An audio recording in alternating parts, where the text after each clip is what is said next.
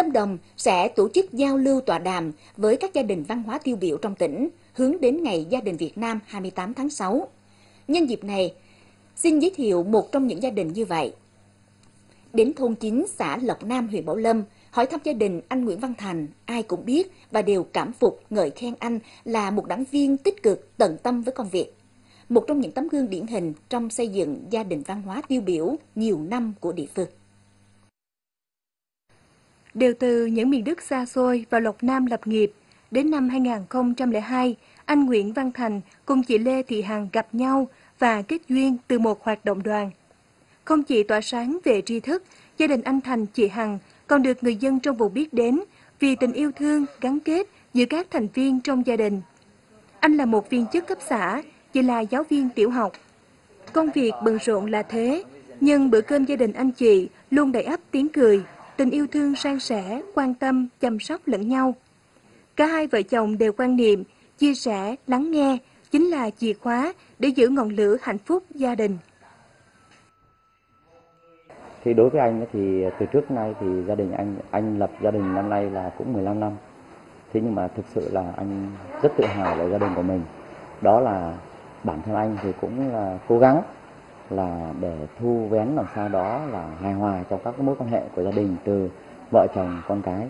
Bên cạnh đó là anh ờ, rất tự hào đó là một có người vợ đảm đang à, trong anh tham gia công tác xã hội à, thường hay đi ra khỏi nhà.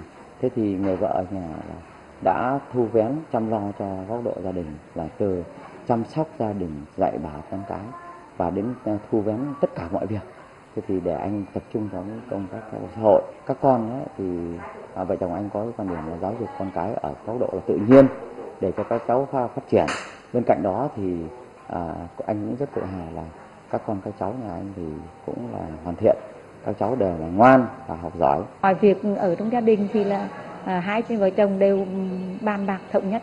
À, chọn mới đưa ra quyết định những cái lúc mà mà anh gặp khó khăn công việc gặp khó khăn thì nói chung thì anh chị đều là à, san sẻ nhau chúng chung là chia sẻ cùng chia sẻ để làm sao mà à, cố gắng vượt qua được những cái khó khăn đó